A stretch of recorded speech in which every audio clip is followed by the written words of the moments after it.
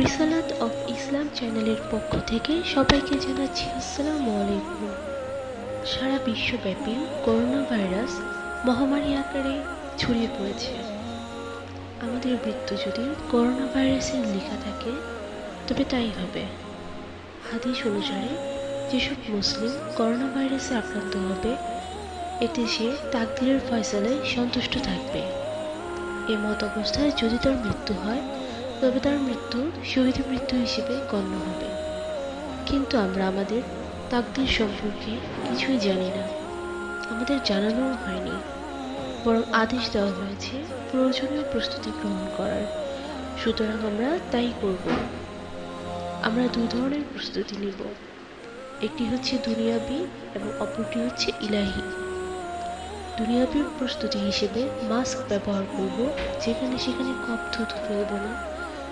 একটু পরপর পানি পান করব, সাবান দিয়ে ঘন ঘন হাত ধৌত করব খুব ভালোভাবে। হাত না ধুয়ে কোনোভাবেই নাক, মুখ ও চোখ স্পর্শ করব না, কারণ এই তিনটি স্থান দিয়ে ভাইরাসটি শরীরে প্রবেশ করে। পাবলিক জামায়াত এড়িয়ে চলব, মানুষকে সচেতন করব সন্দেহ হলে হসপিটালে যাব।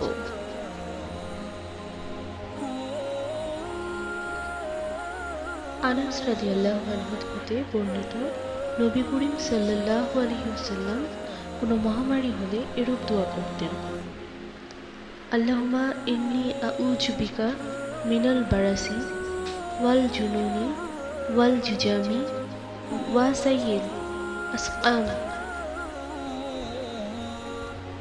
অর্থাৎ হে আল্লাহ অবশ্যই আমি তোমার নিকট ধবল রোগ, উন্মাদনা, কুষ্ঠরোগ এবং সকল প্রকার মহামারী হতে আশ্রয় প্রার্থনা করছি। আসুন আমরা সবাই করোনা ভাইরাস হতে বাঁচার জন্য আমরা আমলটি বেশি বেশি করে পালন করি। ধন্যবাদ সবাইকে।